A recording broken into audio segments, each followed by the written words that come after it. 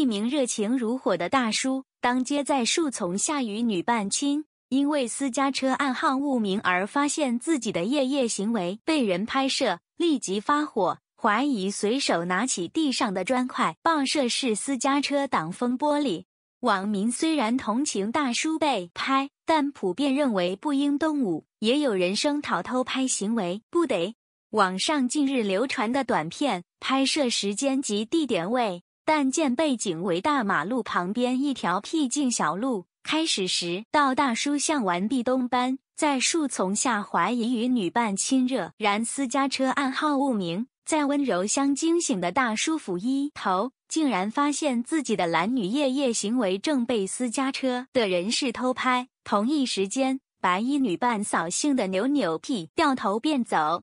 好事惨遭撞破，大叔当场无名火起三丈火遮眼的随手拾起地上砖块，怒气冲冲边行只骂。呆的走进私家车时，即扬手重锤出击，抛出快砸向私家车大银幕，挡风玻璃随即裂出蜘蛛痕。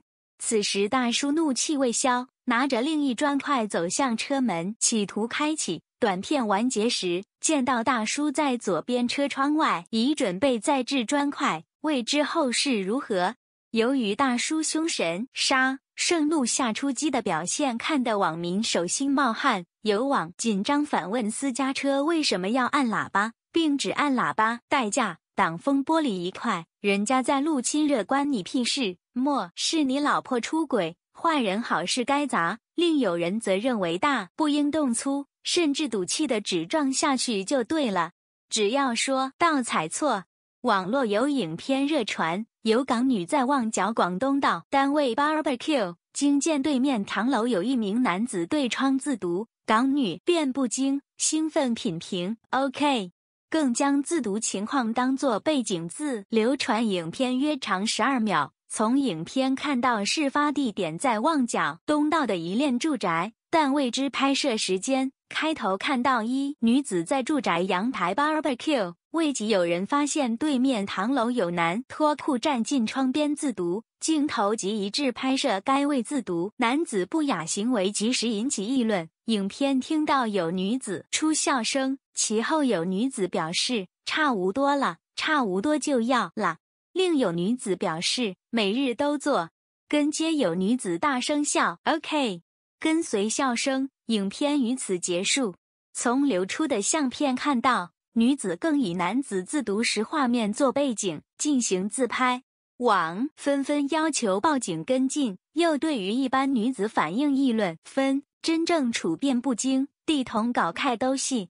报警有变态老变态，本港活春宫个案屡见不鲜。去年二零二一年十一月，一对女与佐敦弥敦到闹服一间酒店房内，一亲热时拉窗帘，遭街上途人目并拍下影片，影片随即到疯传。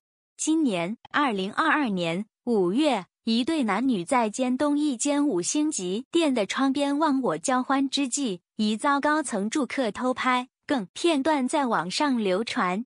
今年六月，喜得一个屋苑有男女天化日下于露台缠绵，警方其后拘捕涉案男女。角今年七月，一对男女在北角某酒店的露天浴池交欢，过程被楼上住客拍摄后上传至多个网络组。今年十月，一对男女光天化日下于东永义公园染口交。警方其后拘捕一名三十六岁姓江本地男子，涉破坏公众体统。破坏公众体统罪最高刑罚为监七年。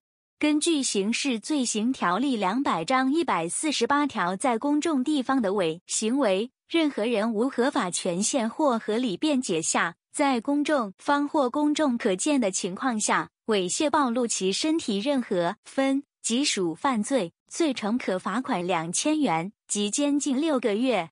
至于发影片，则可能干犯淫亵及不雅物品管制条例二十一条的发布淫亵物品，罪成可处罚一百万及监禁三年。星岛头条 App 今已推出最新版本，请立即更新，览更精彩内容。